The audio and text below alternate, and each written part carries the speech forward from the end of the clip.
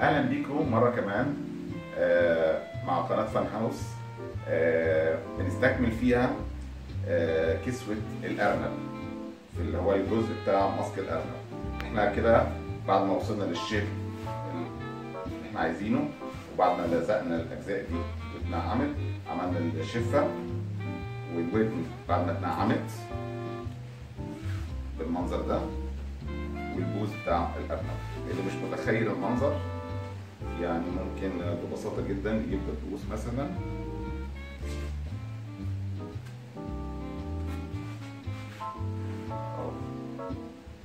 بالمنظر ده. طبعا هيختلف اختلاف جذري مجرد ما يتحط عليه القماش.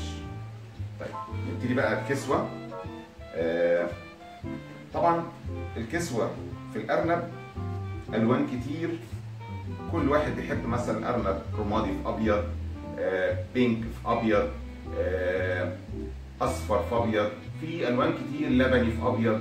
آه، يعني ال- الألوان مفتوحة بالنسبة للماسكات مش هنرجع للرياليتي بتاعت كل حيوان. بنخلي في تصنيع الماسكات الموضوع مفتوح حسب الألوان اللي الأطفال بتحبها أكتر. طيب نبتدي نكسي منين؟ نبتدي مثلا بالودان. آه، الودن أنا بحب دايما ابتدي باللون الفوشيا في البطن بتاعت الودن ده قماش مهير. هبتدي أحط غيره برضه لو فاكرين بنوزع كويس.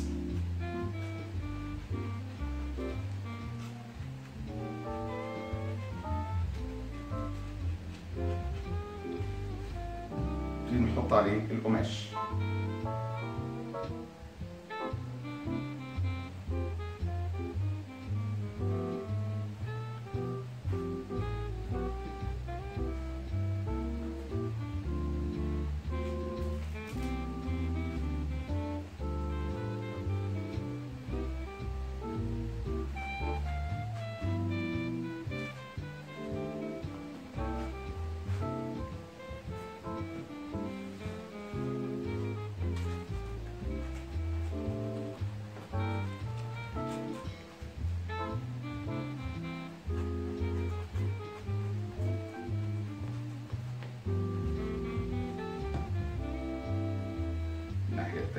फ़िक्र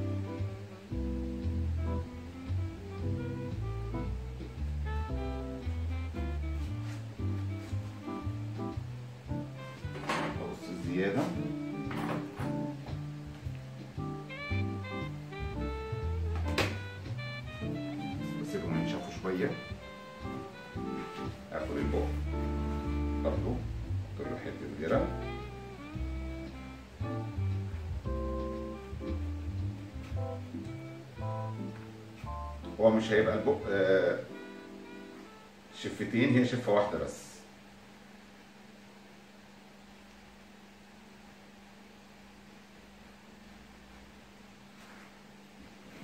المنظر ده برضه اسيبها تنشف.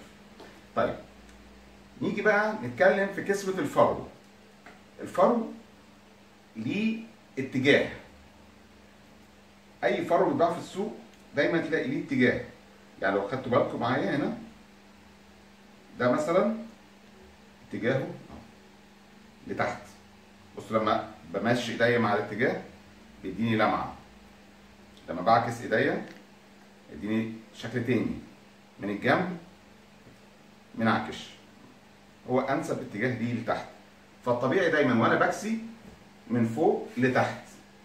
الأفرول لما باجي بفصله برضو الفروة كله يبقى الجسم كله بتاع الماسك من أول الراس لغاية كسوة الرجل تحت كله يبقى من فوق لتحت.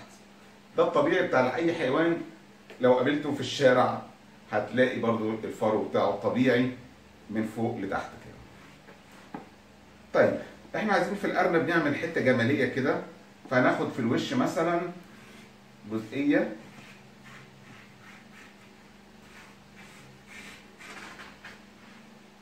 لغاية تحت هنا كده. يبقى لونها أبيض. كجزء جمالي يعني. آه. طيب كده نبتدي بقى نحط ال- الفرو بتاعنا. زي ما أنا قلت لكم الفرو اتجاهه لتحت أهو. ابتدي أظبط القماش أو الفرو آه، من غير غرا بحيث إنه أعرف كل الأماكن فين واللي يحب يسهل على نفسه طبعا بدرابيس عشان القماش ما يجريش منه. على الحدود بتاعتي الخط ده.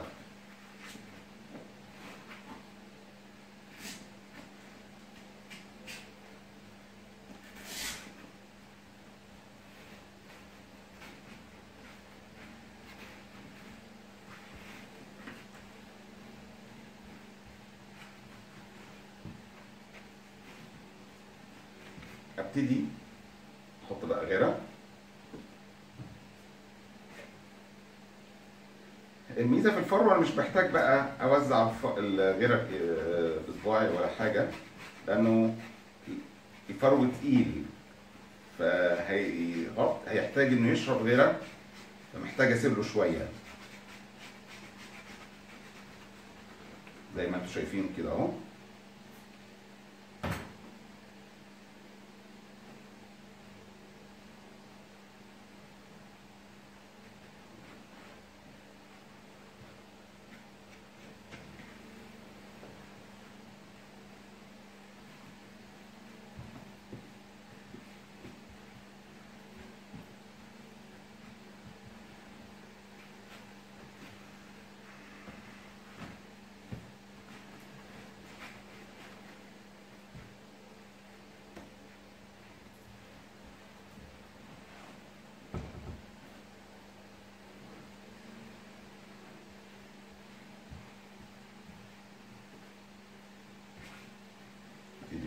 питания.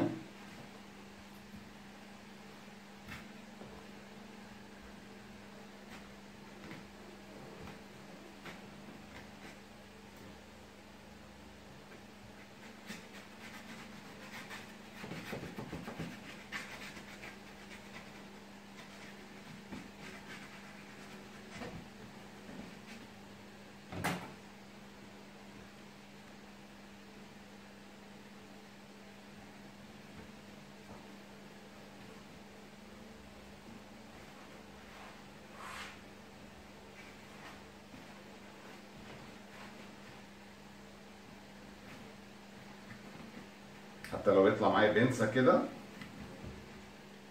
طبيعي جدا لازم أكملها بعد يعني تتخيط لوحدها.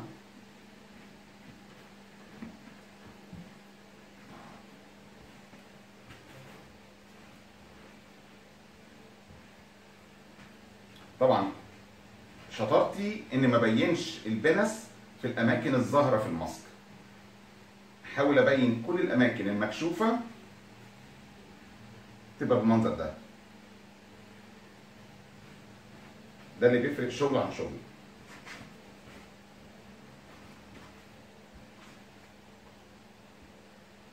أنا كده قربت أوصل للج- الجزئيه الناحية الأخيرة.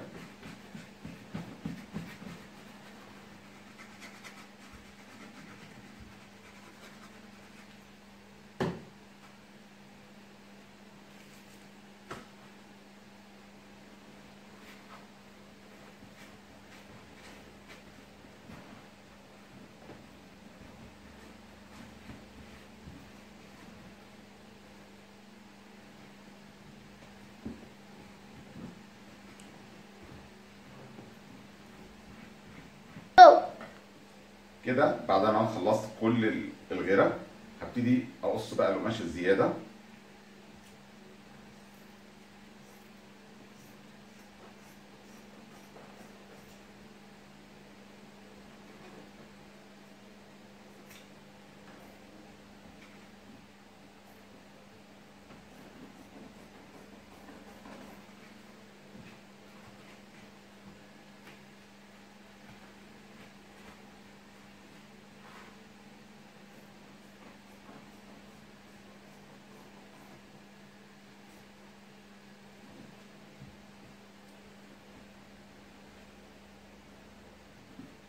طبعا البنستين دول آه، كده كده هنا بنخيط الودن والرموش فدول هيختفوا تماما. الخياطة في الفرو أسهل من الخياطة في المهير لأن الوبرة بتاعة الفروه عالية بتغطي معايا الخياطة.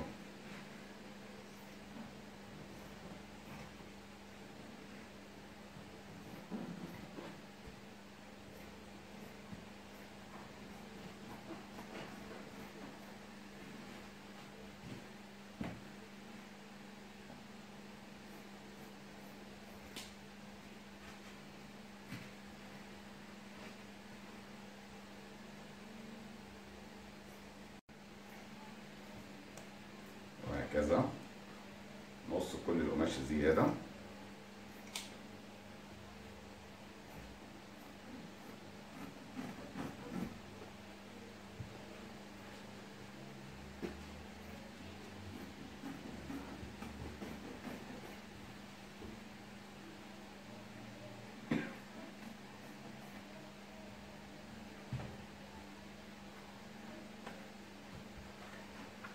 كده أنا كسيت الرأس كلها. هبتدي بقى في الجزء الأبيض. أحدد برضو اتجاه الفرو ماشي إزاي اهو لتحت هيكفي لا مش هيكفي ننزل باللي بعدها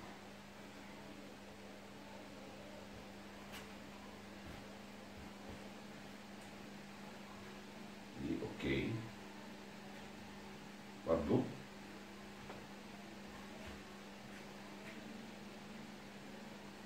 ابتدي أحط غيرها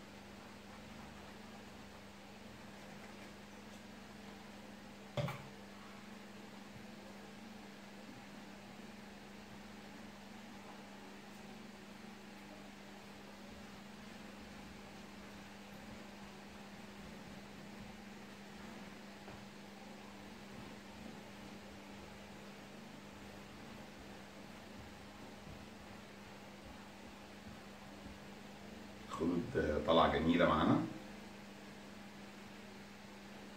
ابتدي بقى اقص زيادة عشان أرتاح وأنا شغال. طبعا أنا شايف أوكي يعني أنا مش بقص كده اعتباطا أنا شايف تحتية القماش الأصفر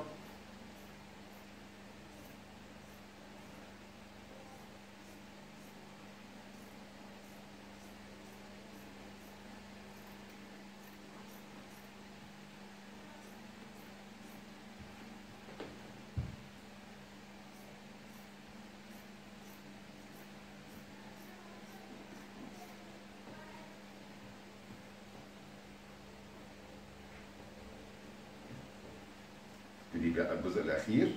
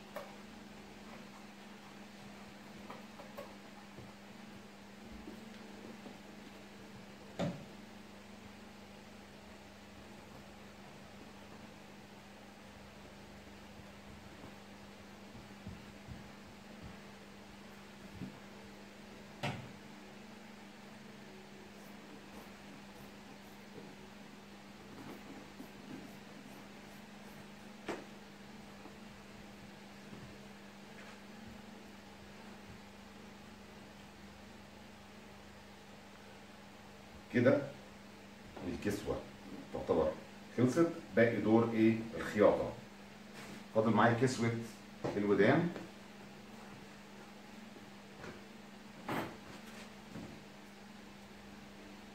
طبعا أنا أي قصاقيس بتتساب من الفرو آه، قطع كده كبيرة مش برميها لأنه هحتاج لها طبعا. برضه أشوف اتجاه الفرو ماشي إزاي. لتحت يبقى الودن برضه من فوق لتحت. هنعمل طبقتين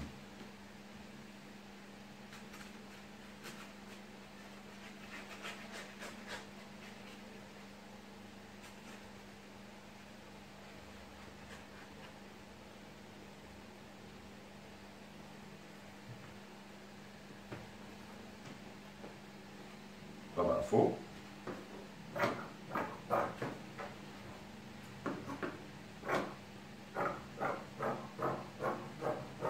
بقص بزيادة طبعا متخيلين هيكون في طلعة كده.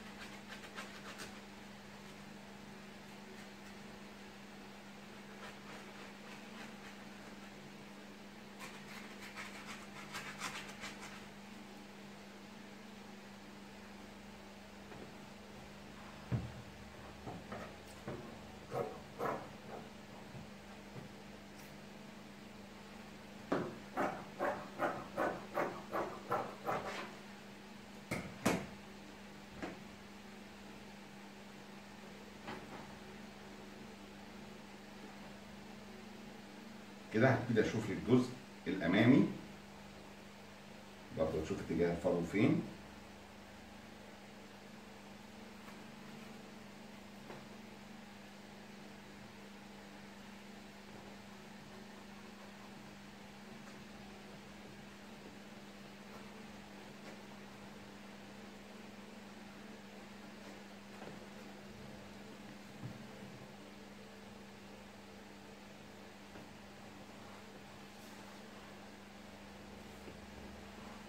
ابتدي اقص من القلب جوه والزياده بقى لما ينشفوا شوف قطعة تانية برضو.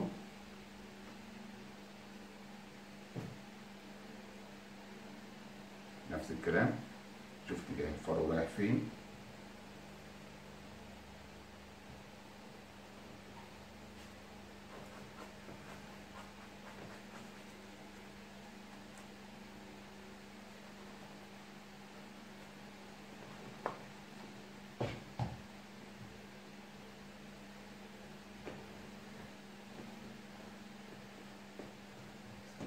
يشدوا شوية. هيبقى معايا آخر جزئية اللي هو البوز ده هيكون بالفرو الأبيض. برضه نفس الفكرة اتجاه الفرو لتحت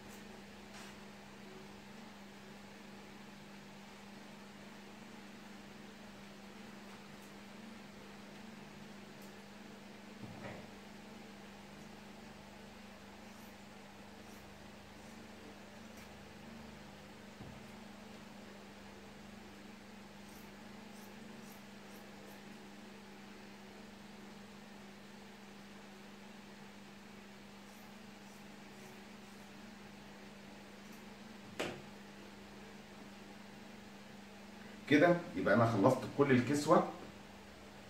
أشوفكم بعد ما نخلص خياطة نركب الملامح. شكرا.